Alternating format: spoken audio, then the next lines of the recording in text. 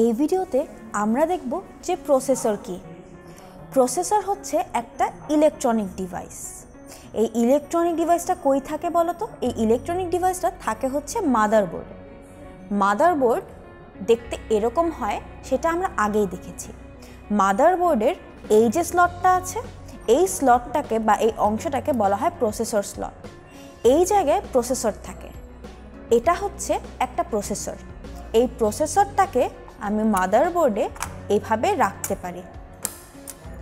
এবং এই যে প্রসেসর আছে, এই প্রসেসরটা কিন্তু আমার কম্পিউটারের কিংবা মোবাইলের যত নির্দেশনা হ্যান্ডেল করার কাজ আছে, সেটা করে। অর্থাৎ এই যে প্রসেসরটা আমরা দেখতে পাচ্ছি, এই প্রসেসর কি করে? কম্পিউটারকে আমরা যে নির্দেশনাগুলো দেই, সেই নির্দেশনাগুলোর প্রক্রিয়াকরণ এই প্রসেসরটা করে থাকে।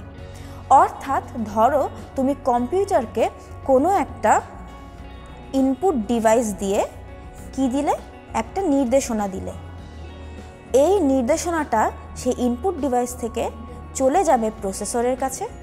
প্রসেসর তুমি যে নির্দেশনা বা ইনপুটটা দিয়েছ সেটাকে প্রসেসিং করবে, প্রক্রিয়াকরণ করবে এবং প্রক্রিয়াকরণ করে সে কি করবে? যে রেজাল্টটা থাকবে সেটা আউটপুট হিসেবে আউটপুট ডিভাইসের মাধ্যমে দেখাবে।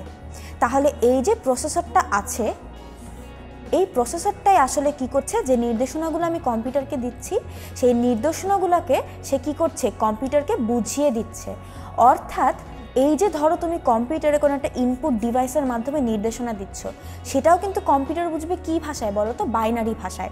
সেই এই নির্দেশনাটাকে কম্পিউটারকে বাইনারি ভাষায় বোঝানোর কাজটাই করে হচ্ছে প্রসেসর এরপরে সেই নির্দেশনা অনুযায়ী ফলাফল প্রস্তুত করে এবং সেই ফলাফলটাকে আউটপুট ডিভাইসের কাছে পাঠিয়ে দেয়।